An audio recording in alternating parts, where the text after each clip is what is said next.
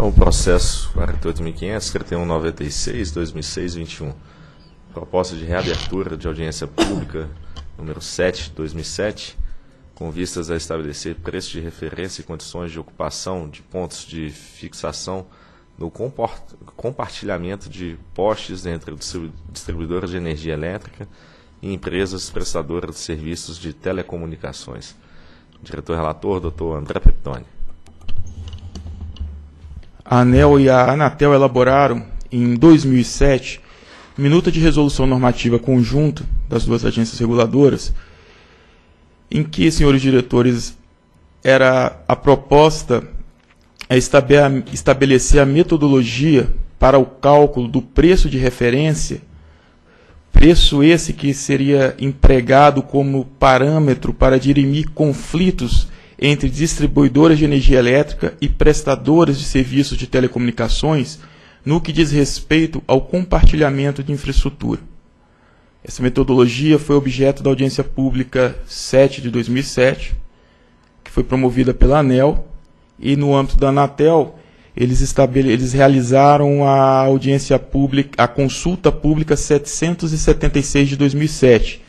E o período foi comum ao, da, ao que foi empregado pelas duas agências, foi entre 4 de abril e 25 de maio de 2007.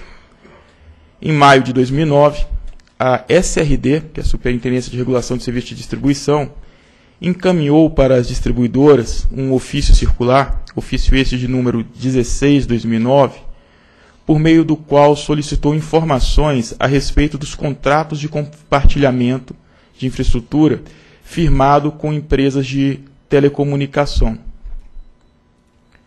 A superintendência tinha a pretensão de conhecer a situação existente à época e subsidiar os estudos da ANEL. É, entre as informações requisitadas estavam o preço cobrado por ponto de fixação. E mediante a nota técnica 51, de 5 de outubro de 2010, a SRD apresentou análise das contribuições recebidas na audiência pública e propôs nova minuta de resolução normativa conjunta contendo a metodologia revisada para o cálculo do preço de referência. Essa foi apresentada em reunião técnica à diretoria da ANEL em janeiro de 2011, ocasião em que se demandou a simplificação da proposta. E em 22 de julho de 2011, a SRD então emitiu a nota técnica 35, na qual apresentou as premissas utilizadas na simplificação do procedimento para o cálculo do preço de referência em síntese, a metodologia previa que o preço de referência fosse definido como sendo 0,6% do valor de um poste típico, determinado pela ANEL com base em seu branco de preços referencial. Em reunião realizada na Anatel em 5 de julho, em reunião realizada na ANEL em 5 de julho de 2013, da qual participaram os diretores e os técnicos das duas agências, a Anatel apresentou nova proposta para a resolução conjunta, na qual estabelecia, além do preço de referência a ser utilizado para a solução de conflitos, que até então era o único objetivo da norma, a Anatel estendeu a proposta para que esse normativo passasse a contemplar dispositivos para disciplinar, disciplinar a ocupação dos pontos de fixação do porte. Esse que é, que é a grande novidade que essa audiência pública traz. Então, além do cálculo do preço de referência, que está praticamente já concluído e acordado entre as duas agências, que já teríamos condições de editar o, o regulamento final. Entretanto, a Anatel propôs um aditivo à resolução, se é que sim que podemos chamar, apresentando também dispositivos para disciplinar a ocupação dos pontos de, fixa, é, de fixação do Porsche. As áreas técnicas das duas agências então discutiram essa proposta. E aqui na ANEL, a SRD e a SCT, que são as duas superintendências afeta a matéria, elaboraram então a nota técnica conjunta de número 185/2013, datada de 29 de julho de 2013, na qual apresentaram a minuta atualizada de resolução normativa conjunta e sugeriram, diante da incorporação desse novo dispositivo, dessa nova disciplina, reabrir o processo de discussão com a sociedade. É o relatório. Procuradoria. Bem, a Procuradoria analisou a, a competência da ANEL para a expedição dessa resolução por meio de um parecer em 2009, no qual, revisando um parecer anterior, a Procuradoria aponta que a ANEL possui competência para a fixação de preço teto. Quanto aos contornos da, da resolução, ainda não há nenhuma, nenhum aspecto jurídico a ser abordado, o qual, se surgir durante a audiência pública, poderá ser analisado pela Procuradoria. Então, senhores diretores, a proposta submetida à audiência pública número 7 de 2007 e sua posterior simplificação, foi demandada pela diretoria da ANEL, fundamentaram-se no modelo de empresa de referência, modelo esse que foi empregado aqui pela agência no primeiro e no segundo ciclo de revisões tarifárias periódicas das distribuidoras, que definia os valores dos custos de operação das concessionárias de distribuição. Além disso, outro fundamento dessa proposta aquela então de 2007, e a sua simplificação era a utilização do banco de preços de referência das distribuidoras que seria implementado pela ANEL.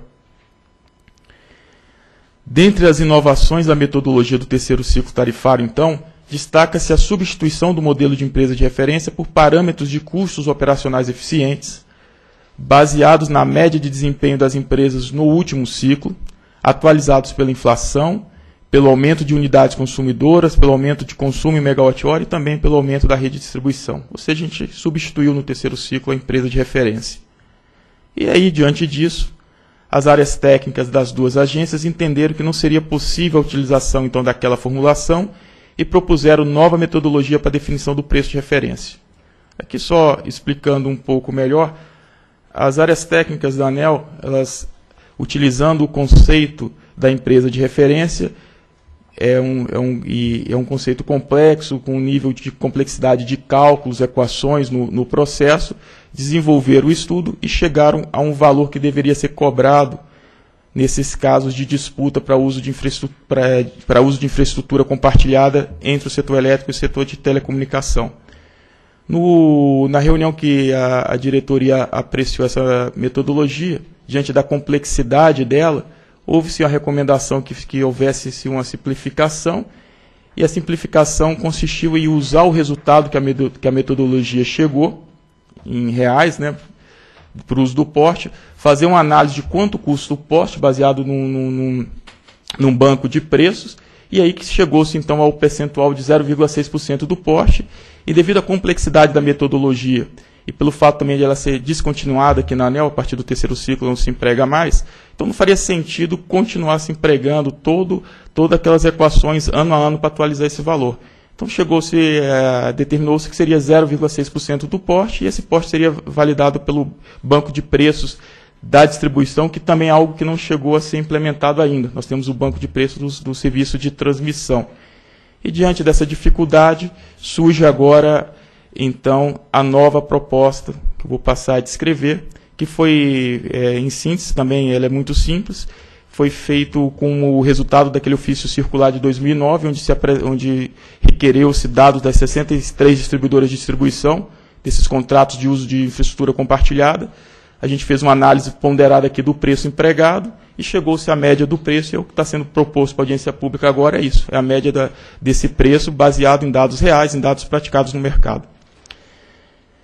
Então, continuando aqui no item 10 do, do relatório, diante disso, as áreas técnicas das duas agências então entenderam que não seria possível a utilização adequada da formulação, em questão, pelo que eu falei, que não se emprega mais o, banco de preço no terceiro ciclo, e propuseram nova metodologia. A nota técnica, na nota técnica 51 de 2010, a SRD apresentou os dados obtidos por meio do ofício circular, que enviou às distribuidoras em 2009 solicitando dados a respeito dos contratos de compartilhamento. Essa nota destacou que foram recebidos que do rol de 63 distribuidores, 61 distribuidoras responderam apresentando seus contratos, o que resultou na análise de 461 contratos. E o quadro 1 apresenta os principais dados extraídos dessa análise. Então, nós identificamos aqui que dos preços dos contratos firmados por distribuidoras com prestadoras do serviço de telecom, o valor máximo de R$ 10,57, o valor mínimo de R$ 30 centavos, uma média de R$ 4,54, uma média ponderada de R$ 2,44, considerando o desvio padrão de R$ 2,30. Então, senhores diretores, as duas agências entenderam, a equipe técnica das duas agências entenderam que a média ponderada dos valores informados pelas distribuidoras, de R$ 2,44, é viável como preço de referência por ponto de fixação no porte nos casos de resolução de conflitos. Sugere-se que essa média ponderada seja utilizada como preço de referência atual e é esse valor que está sendo submetido à audiência pública. Aqui cabe chamar a atenção de um ponto. Esse valor de R$ 2,44 que está sendo submetido à audiência pública, ele é um valor que será atribuído por ponto de fixação do, de poste no caso de resolução de conflito, porque a negociação ela é livre entre a distribuidora e a concessionária de telecom. Entretanto, se uma das partes entender que o preço está sendo abusivo, ela pode declarar o conflito e nós temos uma comissão para dirimir conflito e essa comissão terá como referência esse valor de R$ 2,44. O que se quer coibir aqui é a competição indevida ou monopólio, ou seja, que não haja favorecimento para grupo A ou grupo B no uso do Porsche. Estou colocando aqui uma situação que se quer coibir, por exemplo, uma determinada distribuidora tem sua instalação de portes, uma determinada prestadora de serviço de, telecom quer usar, acessar esses portes. Então, devido aos interesses comerciais que ocorrem entre as, as empresas, ela pode demandar o preço para uma empresa de 30 centavos, vou pegar aqui os exemplos extremos aqui da nossa tabela, e para outra empresa R$ 10,57. Então aqui está patente o exercício do, do poder de mercado e temos uma competição discriminatória, onde um, um acessante de telecom pagaria 30 centavos e um outro, supondo aqui uma concorrente, R$ 10,57. O que se busca é evitar esse exercício do poder de monopólio e tendo-se um preço de referência, que seria o que está sendo proposto por conflito, de R$ 2,44. Dentre os aspectos positivos da proposta, então, destaca-se o fato de o valor de R$ 2,44 refletir a tendência média dos contratos reais celebrados à época entre distribuidoras e empresas de telecomunicações e ter sido obtido de forma simplificada, evitando a utilização de cálculos e parâmetros variáveis. Nós trabalhamos com os dados reais que estavam no mercado.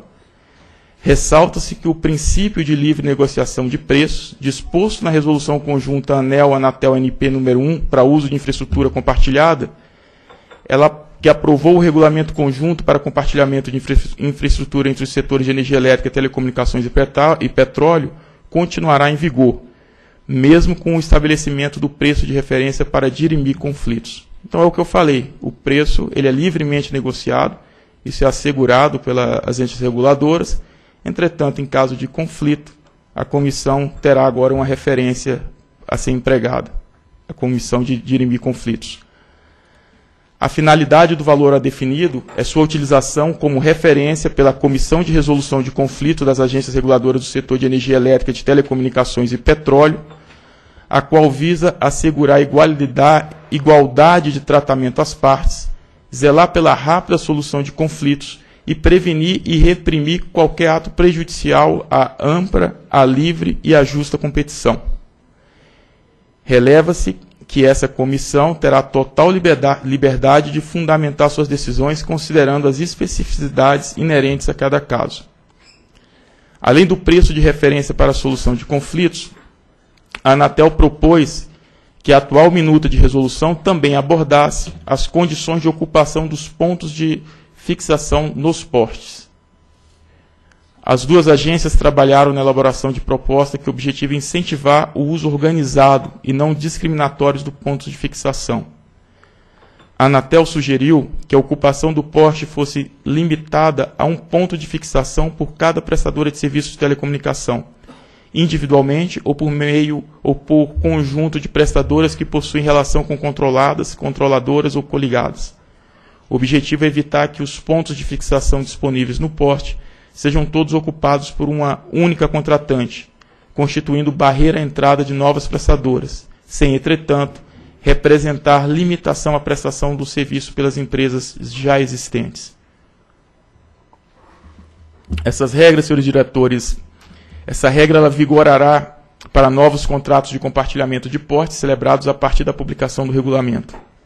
Eventuais casos em que uma mesma empresa prestadora ou grupo de empresas com relação de controle ocupe mais de um ponto de fixação no poste no momento da publicação deverão ser regularizados, ao se considerar que o objetivo da regra é diminuir barreiras à entrada de novas prestadoras, contudo, propõe-se que a regularização somente seja, seja exigida nos casos em que não houver mais pontos de fixação disponíveis no Porsche. Desse modo, a empresa que ocupe vários pontos de fixação no momento da publicação da resolução poderá permanecer nessa situação até que o último, o último ponto do Porsche seja formalmente ocupado, quando então a regularização será exigida por meio de notificação da distribuidora, passando a existir duas hipóteses. E aqui eu vou citar os dois casos. Primeiro caso, quando não houver ponto de fixação disponível no poste, já na data de publicação da resolução, a distribuidora deve encaminhar notificação às empresas prestadoras em até um ano após a data de publicação da, da, da regra. E recebida a notificação, a prestadora de serviço de telecom deve efetuar a regularização em até um ano também. Esses prazos estão submetidos à audiência pública e vamos avaliar sua adequabilidade. E o segundo, então, o primeiro caso trata-se de quando o poste está todo ocupado. O segundo caso trata de quando ainda há espaço a ser ocupado no poste. E a regra é a seguinte: que quando a ocupação do último ponto de fixação disponível ocorrer após a publicação da resolução, no momento em que for celebrado o contrato que resultar na ocupação do último ponto no poste, a distribuidora deve, em 30 dias, notificar as empresas prestadoras ocupantes de mais de um ponto de fixação e que essas, depois de recebida a notificação, tenham 90 dias para regularizar sua situação. Então, o que se diz se o poste não está todo ocupado, pode-se conviver com a situação e quando ele passar a ser todo ocupado, então aquela prestadora que ocupa mais de um ponto tem que ajustar a sua instalação para ocupar tão somente um ponto no poste. Independente do número de pontos de fixação efetivamente ocupados por uma prestadora, a minuta estabelece que a distribuidora somente poderá cobrar o valor equivalente a um ponto de fixação por poste de cada empresa de telecomunicação. Na hipótese de o mesmo poste ser utilizado por empresas que possuam relação de controle com controladas, controladoras ou coligadas, a distribuidora poderá cobrar o valor equivalente a um ponto de fixação de cada uma das empresas individualmente.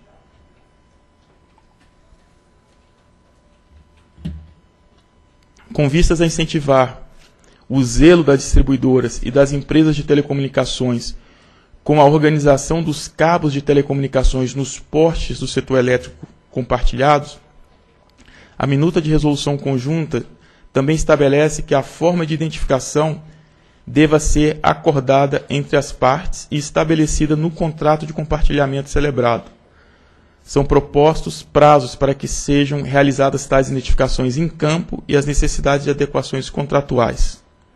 Para que as distribuidoras mantenham um cadastro atualizado que contenha dados sobre a ocupação de seus postes, propõe-se que tal cadastro possua minimamente dados sobre a capacidade excedente e as condições para compartilhamento, além de informações técnicas sobre infraestrutura, preço e prazo. Para tanto, a minuta de resolução define o prazo de um ano para a elaboração desse cadastro. E esses cadastros, senhores diretores, então, o cadastro ele deve ser disponibilizado no sítio das distribuidoras da internet sobre a forma de oferta pública. Desse modo, a capacidade excedente e as condições aplicáveis serão públicas, coibindo a reserva de mercado. A manutenção do cadastro na internet substitui a obrigação de publicidade por meio de jornais previstas na Resolução Conjunta número 1 de 99.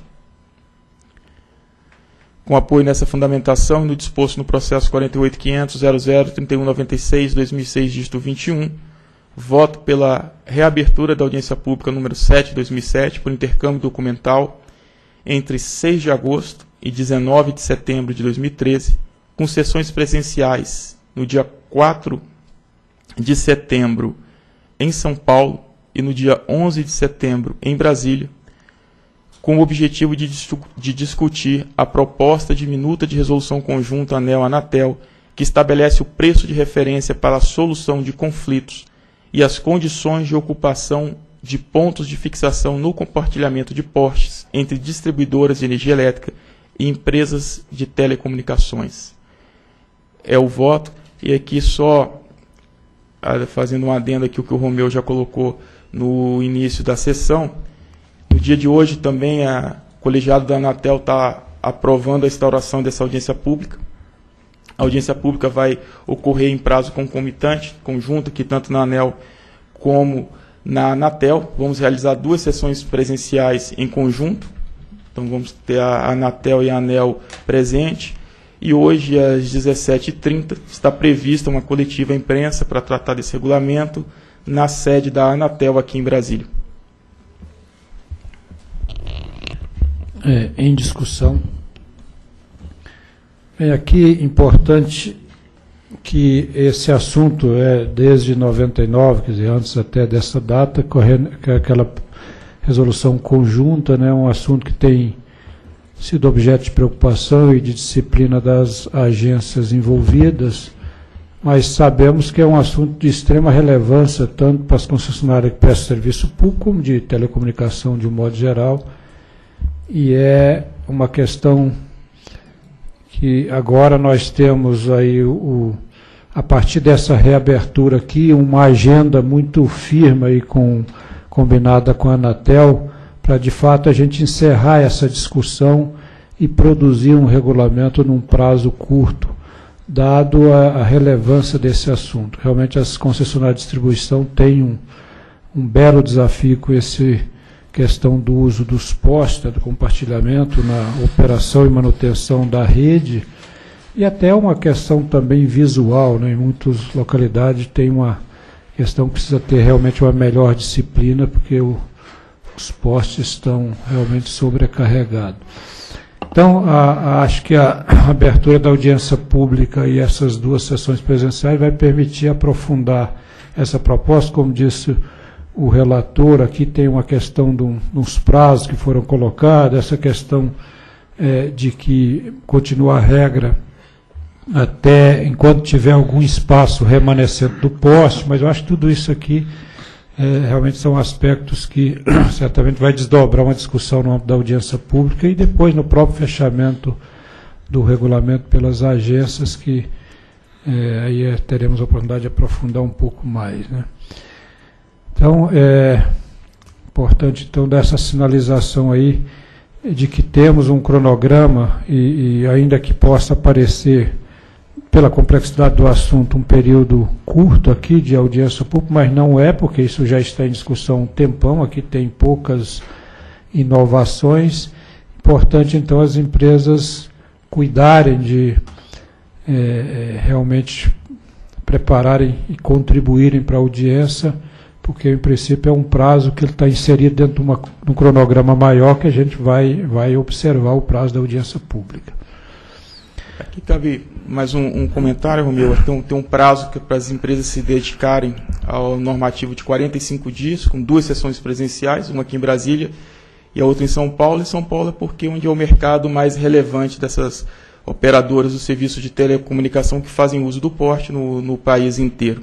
Uhum. E também essa receita é, que passa a ser oferida pelas distribuidoras de energia elétrica Cabe lembrar aqui que, de acordo com as regras do terceiro ciclo, 10% dela fica com o acionista da distribuidora e 90% dela é revertida para a modicidade tarifária.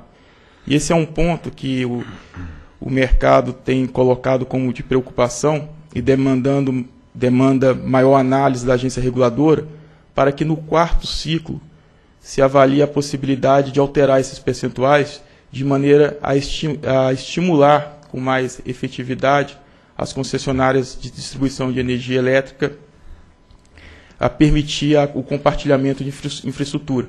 De certa forma, nas audiências públicas que promovemos no terceiro ciclo tarifário, boa parte das distribuidoras colocaram que o, o incentivo econômico ainda era fraco. Eles achavam que 10% era fraco e pediram um percentual maior o que a agência a ANEL também vai estar apreciando para que no quarto ciclo podemos é, chegar a, a, percentuais que reflitam melhor a, o que diz respeito à regulação. Bem, compreensível que as empresas acharam pouco. Né? É, mas é, é, um, é um serviço in, importante é. É, que tem que ser executado e que tem custos para isso. Assim, eu não sei dizer se está pouco ou está muito, mas tem uma sensibilidade grande do mercado que esse sinal podia ser mais contundente de forma a facilitar e diversificar mais o uso dessa, do compartilhamento dessa infraestrutura e nos cabe aqui avaliar melhor e o que sinalizamos foi que no quarto ciclo nós estaríamos dirimindo de novo esse assunto. Para o terceiro ciclo não há mais espaço, as regras já estão postas, por sinal nós estamos já praticamente fechando o terceiro ciclo tarifário, então não tem mais o que mudar, mas vai ser um desafio para o quarto ciclo. É só, então, deixando claro, evidentemente, não está em discussão aqui essa questão da alocação da, da captura, vamos dizer assim, para a modicidade tarifária. O doutor está ressaltando que isso é tratado e é lá mesmo que deve ser no processo de revisão tarifária e a metodologia para o ciclo, quando for reaberta a discussão, lá terá o espaço para tratar do assunto. Aqui não é essa questão que está sendo tratada. Bem, em votação.